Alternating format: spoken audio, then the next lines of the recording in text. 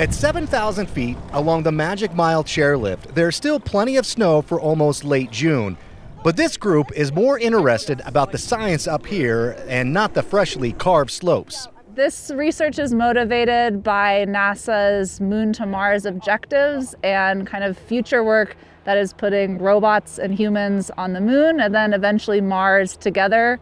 Christina Wilson is an assistant professor at Oregon State University in the Collaborative Robotics and Intelligent System Institute. She's been working on this project for the last two years with other universities from around the country, including USC, Georgia, and the biggest of them all, NASA.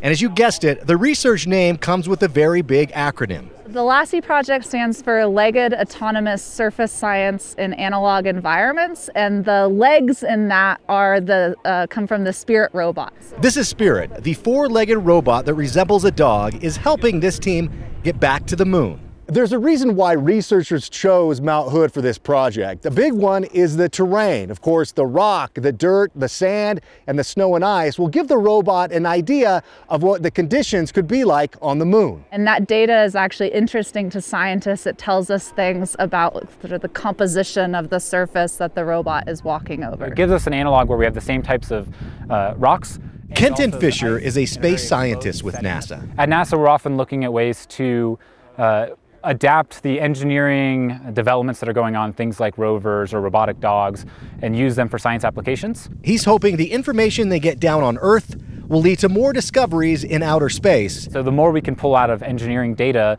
for science applications, the better. And so that was what really drew me into this project initially. Even though he knows there will be a few missteps before that can happen.